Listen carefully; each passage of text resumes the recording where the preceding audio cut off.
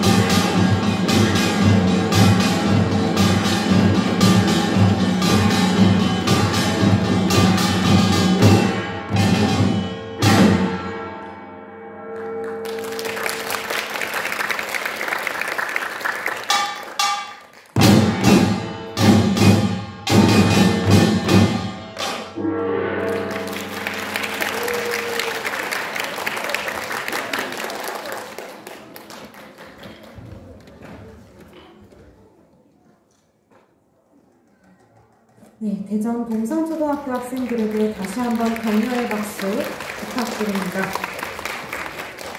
다음 무대에 앞서 잠시 안내 말씀 드립니다.